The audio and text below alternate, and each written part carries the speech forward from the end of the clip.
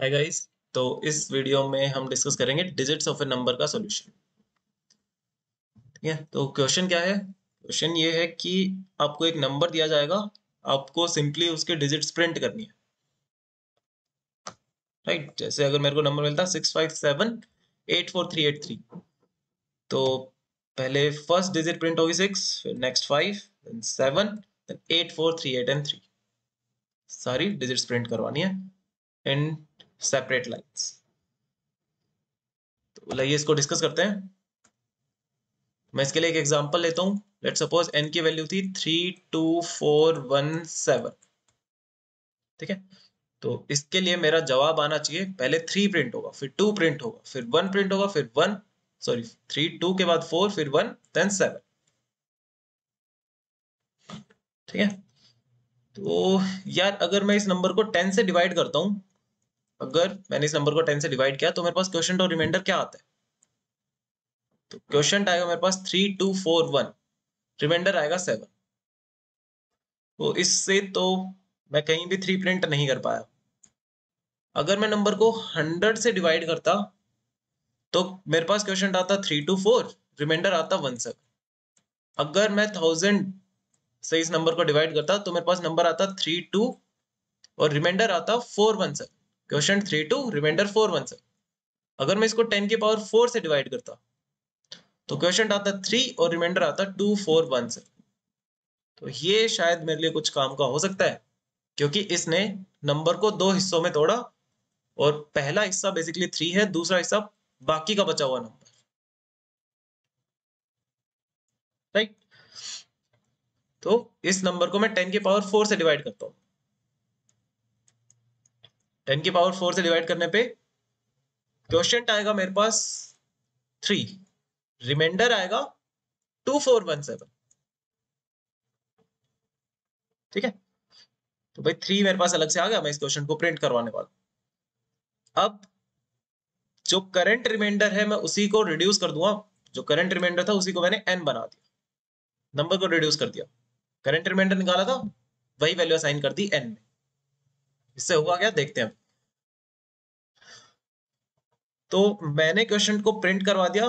Console के ऊपर three print हुआ। नंबर रिड्यूस हो गया टू फोर वन सेवन अब टू फोर वन सेवन को मैं दो हिस्सों में तोड़ना चाह रहा था कि पहले डिजिट मेरे पास अलग से आ जाए और बाकी बचा हुआ नंबर अलग से आ जाए। ये चीज़ करने के लिए मेरे को इस नंबर को डिवाइड करना पड़ेगा टेन की पावर थ्री से। तो मैं इसको टेन की पावर थ्री से डिवाइड करता हूँ। क्वेश्चन मेरे पास आएगा टू और रिमाइंडर आएगा चार सौ सत्रह। राइट? तो क्वेश्चन को प्रिंट करवा दो। टू प्रिंट हो जाएगा। और जो अभी आपका रिमाइंडर आया था, उसकी वैल्यू असाइन कर दो एन में एन की वैल्यू अब बन गई 417 ठीक है, अब 417 को भी मैं दो हिस्सों में तोड़ना चाह रहा हूँ। पहला हिस्सा पहले डिजिट को कंटेन करता है। बाकी का बचा हुआ हिस्सा बाकी की बची हुई डिजिट्स को कंटेन करेगा। राइट तो ऐसा करने के लिए मुझे इसको 10 के पावर 2 से डिवाइड करना पड़ेगा। क्वेश्चन आता है 4 रिमाइंडर आएगा मेरे पास 17 ठीक है? क्वेश्चन को प्रिंट करवा दो, चार छप जाएगा। और जो अभी रिमाइंडर निकाला था, उसकी वैल्यू एन में असाइन कर दो। तो एन की वैल्यू सेवनटीन होगी। सेवनटीन को भी मैं दो हिस्सों में तोड़ना चाहता हूँ। जिससे पहला हिस्सा एक डिजिट को कंटेन करेगा, पहले डिजिट को, और दूसरा हिस्सा बाकी की बची हुई डिजिट को। ऐसा करने के लिए मुझे इसे टेन से डिवाइड करना पड़ेगा। अगर मैंने इसको टेन से डिवाइड किया question will be one and remainder will be seven question को मैं प्रिंट करवा दूँगा तो वन प्रिंट हो जाएगा। और जो अभी आपका करंट रिमाइंडर था, उसकी वैल्यू साइन कर दी एन में। राइट अब एन की वैल्यू सेवन अब मैं इसको दो हिस्सों में तोड़ना चाहता हूँ, पहले डिजिट को अलग निकालना चाहता हूँ, बाकी बची हुई डिजिट को दूसरे हिस्से। तो मैं इसको वन से डिवाइड करूँगा question will be seven remainder will be zero और क्वेश्चन को प्रिंट करवा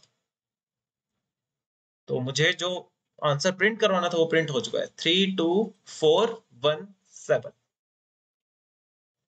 right तो यहाँ से यार कोड क्या निकल के आया? मेरे को क्या काम करना है? नंबर को दो हिस्सों में ब्रेक करना है। तो नंबर को दो हिस्सों में ब्रेक कैसे करूँगा? तो एक ऐसे नंबर से डिवाइड करूँगा। जैसे अगर इसमें पाँच डिजिट होती हैं तो टेन की पावर फोर से डिवाइड करूँगा।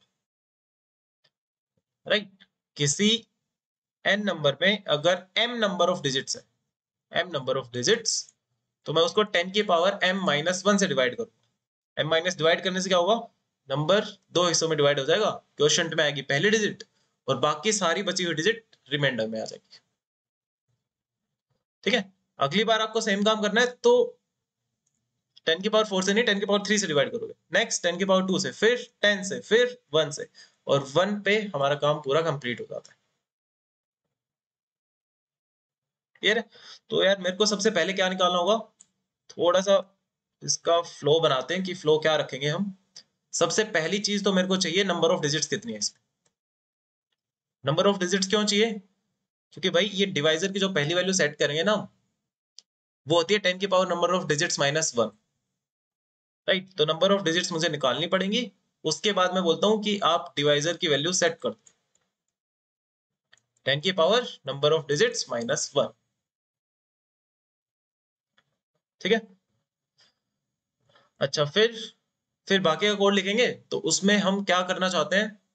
नंबर को बार बार डिवाइड करेंगे डिवाइजर से। ठीक है? और दो हिस्सों में ब्रेक करते रहेंगे। क्वेश्चन रिमाइंडर निकालते रहेंगे। तो कुछ काम मेरे को बार बार करना है तो उसके लिए मैं लूप लगाऊँगा। राइट और फिर मैं यहाँ पे बेसिकली कैलकुलेट करूँगा क्वेश्चन एंड रिमाइंडर दो हिस्सों में उसको ब्रेक कर दिया। क्वेश्चन को मैं प्रिंट कर देता हूँ, क्योंकि क्वेश्चन में हमेशा पहली डिजिट आएगी मेरे पास। और जो आपका करंट रिमाइंडर था, उसकी वैल्यू मैं एनवाई साइन करा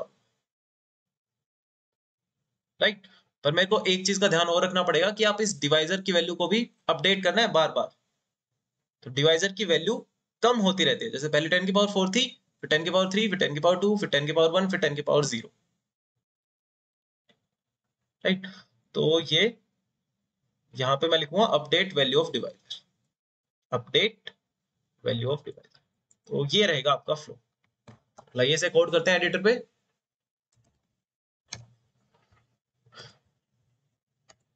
एन का इनपुट लिया.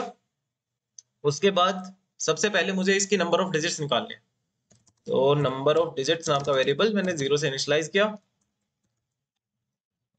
ये हम पहले भी कर चुके हैं count digits in a number जब तक एन की वैल्यू रिड्यूस होकर ज़ीरो नहीं बन जाती, तब तक मैं क्या करूँगा? एन को रिड्यूस करता रहूँगा। एन को बार बार टेन से डिवाइड करके। और नंबर ऑफ़ डिजिट्स को एक से इंक्रीज करते रहो। Number of digits plus one right तो इससे बाहर आए तो नंबर ऑफ़ डिजिट्स की वैल्यू मुझे मिल जाएगी। इस लूप से बाहर आते। ठीक है? अब मुझे डिवाइजर की वैल्यू सेट करनी थी। तो डिवाइजर की वैल्यू होती है टेन की power number of digits minus one उसके लिए मैं एक इनबिल्ट फ़ंक्शन यूज़ करने वाला हूँ पाव इंट डिवाइजर डिवाइजर की वैल्यू मैंने फ़ंक्शन यूज़ किया पाव टेन की power number of digits minus one ठीक है? तो किसकी पावर कितनी निकालनी है? दो चीज़ें, दो पैरामीटर आप पास कर दोगे। मेरे को टेन की power number of digits minus one निकालनी थी पहला पैरामीटर मैंने टेन पास कर दिया। कितनी पावर चाहिए थी? दूसरा parameter number of digits minus one pass कर दिया। Right right. अब हम अपना आंसर प्रिंट करवाना स्टार्ट करेंगे। ठीक है? तो यार मेरा काम कब तक चलता है? ये काम मेरे को बार बार करना था, पर ये काम कब तक चलेगा? जब तक डिवाइजर की वैल्यू रिड्यूस हो होके वन पे भी काम चलता है ज़ीरो ना बन जाए। ठीक है? तो तब तक मुझे काम करना पड़ेगा। While divisor is greater than zero या फिर हम ये भी लिख सकते हैं while divisor is not equals right तब तक मुझे काम करना है। काम क्या करूँगा? आते ही पहले नंबर को दो हिस्सों में तोड़ दो। क्वेश्चन और रिमाइंडर निकाल दो। Question will be N divided by divisor and remainder will be N modulo divisor question और रिमाइंडर निकाल लिए। अब, क्योंकि क्वेश्चन में पहली डिजिट प्रेजेंट होगी तो मैं उसको प्रिंट करवा दू। तो सी आउट क्वेश्चन की वैल्यू मैंने प्रिंट करवा दी। ठीक है? अब जो आपने रिमाइंडर निकाला था रिमाइंडर में पहले डिजिट को छोड़ के बाकी बची हुई डिजिट्स रहती हैं। वो वैल्यू आप एन में असाइन करा दो। अगली बार के लिए डिवाइजर पे अपडेट करना है।